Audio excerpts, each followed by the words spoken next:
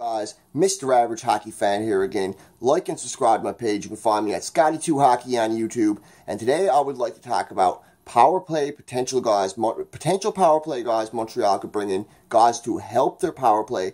Uh, I looked at guys that had goals on this list. I wasn't looking for the power play points leaders. I wasn't going for unrealistic pickups like Nikita Kucherov and Johnny Gaudreau and these guys. I was looking for guys that I think Montreal could realistically bring in as rentals. One or two of them they may want to extend and could definitely help the power play. Every single one of them is top 15 in power play goals. The very first guy I have on the list is a guy who plays for the team we're playing right now at this moment. The Habs are playing right now at this moment. I have the TV after this out of me going. So I'm going to have to try and get through this video kind of hastily. Sorry, guys. But uh, I don't want to miss this game. It, puck drops in like five minutes. Go, Habs, go, baby. But the first guy I'd like to mention is Kyle Palmieri from the New Jersey Devils. He's their leading scorer. Yes, he's their leading scorer, but New Jersey isn't a playoff team. Their team is trending in the right direction, and I feel they'd like to bring in new players, possibly, if not rebuild, retool, and get some good picks and bring in some new younger players. I don't know if they would be shopping Palmieri, but I feel if the right offer was made, we could get them. And teams like that are desperate, so they'll make the moves that they have to. I'm not 100% sure if this is a realistic guy Montreal could get, but if they could, God, would he ever help? Put him in there uh, in Armia spot move Armia down to the second power play unit, where Hudon is currently uh, slotted as the second power play unit right hand shot guy. Put Armia there and uh, have uh, what's his name, Palmieri as in with uh, Kotkaniemi, Tatar, Drouin, and Weber. I feel uh, Palmieri is a guy that can finish in front of the net. Drouin doesn't have to always pass it over to Weber, doesn't always have to pass it to and get it passed back. There's too many playmakers. Kotkaniemi's more of a playmaker than a shooter. He doesn't seem like the guy that wants to shoot on the power play. Tatar will shoot, but he seems to be a bit too creative, tries to do a bit too much, and Drouin is just, it does way too much, makes lazy back passes. He needs a guy that when he does pass it to him, they're going to rifle in the net, or they're going to try to at least, and a guy that's going to be in the right spots, because I love Armia on the penalty kill, but he just doesn't seem to be an offensive threat on the power play at all. So yeah, Kyle Palmieri, and uh, some of his stats this year, uh, Palmieri actually has, in 50 games played, he has 23 goals, 16 assists, 39 points. He's a minus one. But on the power play, he has nine goals. He's top 10 in power play goals. He only has five power play assists. But like I said, I'm not looking for guys to create on the power play. I'm looking for guys to score, to get to their spot, had the puck get to them, and come in and score a goal. If they have to create, I'm sure they can. But I'm looking for guys who are proven scorers this year in the league that can play in this league and uh, really, really help this abysmal power play Montreal has got going. They've been dead last in the league for a while now, and it just looks worse and worse. It's killing them in games. It's sucking the energy out of games. Power play is supposed to help you. It's not helping them at all. His cap hit is 4.65 million. Uh, notable mention, he's a right-handed shot, so he'd be a good right-handed shot. He's a cap hits 4.65 million. He's due for a raise at the end of the year. He's an unrestricted free agent at the end of the year but I think Montreal could possibly extend him. He's a guy I don't judge him by his numbers. I don't see him getting over seven mil. I think if Montreal get him for six million, he could be a long term Hab, or even just sign him on a short term deal. But he is a guy who you could keep around, and he would so much help that unit for sure. The second guy I got little he would be a lot harder to get, but St. Louis has been talking about moving him for years. St. Louis is a team that is up and down. I don't think they're going to make the playoffs, and if they start going in the wrong direction in these next few games, I could see Montreal steal them. They would have to give up that first round pick.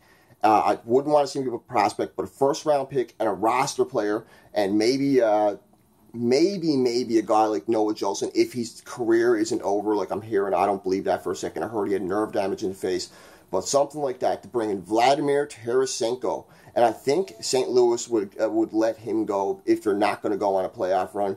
And he wants out of St. Louis anyways. I'd say I don't see him re-signing in St. Louis. I haven't heard he wants out of St. Louis, but he's not having a good year in St. Louis this year. And the team is brutal this year, and it didn't make the playoffs last year. If he wants to win at all, he probably wants out. He's a guy who's played in the East for a lot, or played in the West for a long time, so the East would be totally more suited to him. Instead of playing bigger, stronger, uh, harder skating teams. He'd be in a faster, more fast-paced goal scoring, uh, just more skilled. It seems Eastern Conference seems to be more fast-paced, more skilled, and that would suit him.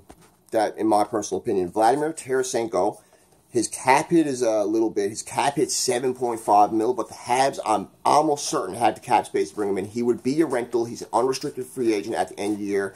His numbers are 48 games played, 17 goals, so he's okay in goals, only 15 assists, 32 points. That's not great by Tarasenko standards by no means, even the goals, but his power play goals are good. Almost half his goals are power play goals. He has eight power play goals, five power play assists.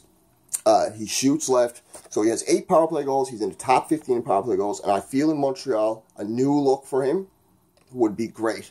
I feel in Eastern Conference playing against teams like Toronto and not having to constantly play against the Winnipegs and Nashville's and even like top line heavy teams like Colorado where you're just your lines almost matched up against them and you're just not looking good against them. I feel a fresh look in Montreal would help so much and I feel he would be such a threat on the power play.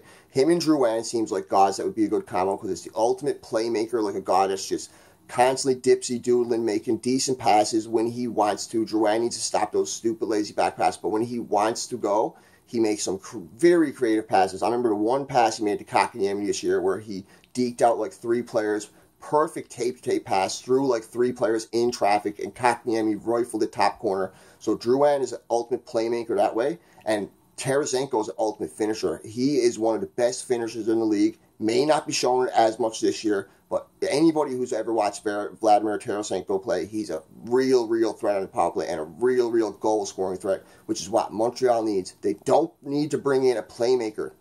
They don't need to bring in another quarterback. They need a guy, a pure goal scorer on that power play. And last but not least, this is a guy I think we could get because New York Rangers are pretty much putting everybody out there. They seem to be a rebuilding team. They're not a playoff team. I don't think they're anywhere close to the playoffs. I don't think they're going to make the playoffs. And uh, there's a couple of guys out there that they've been shopping. I'm not 100% sure if they're shopping this guy, but he would help Montreal's power play so much. A lot of Habs fans don't like him, but in Montreal, you'd love him on your team. Mika Zibanejad. He is a really good power play player, and he's a good goal scoring threat on the power play. And unlike Tarasenko and uh, Palmieri, is a bad chance of threat both ways. He's a playmaker and a goal scorer. His numbers show it for sure, and he's also top 15 in goals this year. In 50 in top 15 in power play goals, excuse me. In 50 games played, he has 20 goals, 28 assists, 48 points. So he has more points than Domi. He's a minus eight, but it's only because he's on a horrible team in New York that gives up a lot of goals against. I'm sure it isn't his fault. Don't watch all the New York games, but anybody could be a minus on New York. They're not a very good team. Uh, he has eight power play goals, 10 power play assists. He's definitely a goal scoring threat in the power play with eight power play goals. I don't know how good New York's power play is, but it, I don't think it's great by no means because I haven't heard much of it the year. But I've heard a lot about Zibanejad, and he seems to be great. I went and looked at his highlight reel to check out his power play goals, and they're beauties. He's a real, real threat on the power play, and he's a guy that you could slot in, like I said, in Armia's spot. With Tarasenko. We've had Armia's great on the penalty kill, but he's not an offensive threat on the power play. You can just see it uh, when he gets the puck, his decision making with the puck when it comes to shooting and getting it off his stick quick isn't that great. And he just doesn't have the shot to be the number one power play guy, the guy, the go, besides Weber, the go to guy for scoring goals. That's who I mean is supposed to be on our power play. At least that's what it seems like to me and uh, he just isn't doing it. So I'd like to see Tarasenko, Palmieri, or Zibanejad in that spot. Those would be great guys. And the reason why I'm saying these guys, because all the other guys I looked at just didn't seem realistic. They either had too much term, they were locked up where they were too. there were contracts no team was going to take, like Patrick Kane, and uh, they were just guys that I just didn't see a chance Montreal getting. These guys, maybe a little bit unrealistic for Tarasenko, but if there is a chance, there, this isn't the these are guys Bergevin's probably looking at right now, especially Zibanejad. If he's not, there's something wrong with him because this power play needs so much help. Uh, his cap hit's only 5.35 mil, so if you took him on as a rental, you'd get him for that's not bad at all, under 6 mil. The Habs definitely have the cap space for that. I don't think you'd be extending him because he definitely deserves a raise. Got with 48 points already on a very bad team like New York. I don't think he's going to get a raise. I don't think he's going to get extended because he's probably going to want like over six mil, around six mil, and he seems like the type of guy that deserves it because he's been a, a, mainstay in New York. Every time I hear about New York, I hear about Zuccarello and Zibanejad, those guys. Those are names that stick out to me when I think about the New York Rangers, and I think he would so help Montreal's power play, and he's a UFA at the end of the year. So, anyways, guys, the game is started. I'm here keeping peeking out of the sun. my It's 0 to 0 currently, two games in for Montreal. Uh, let's go, Habs. Let's see him win. Sorry about this video being a bit rushed, but I didn't want to miss this game. But I also wanted to make this video while I had the thought in my head and while I took down these few numbers. These are some guys that can help the Habs. These are my potential trades you could bring in, potential players you could bring in to bolster our power play. Hopefully you agree with me. If you have better names or guys you think of who could better, who would suit better on the power play, uh, let me know for sure. These are the guys who I was looking at goals wise Montreal could realistically get, who I could see playing for Montreal. Tarasenko is a bit of a stretch, I know. Maybe it's just me dreaming, who knows. But yeah, that's my video on trades that Montreal could bring in to help their power play. Don't forget to hit like, don't forget to hit subscribe. Thanks for the view. Feel free to leave a comment, God. Mr. Over, Mr. Average Hockey Fan here, over and out. Have a great day. Go Habs, go.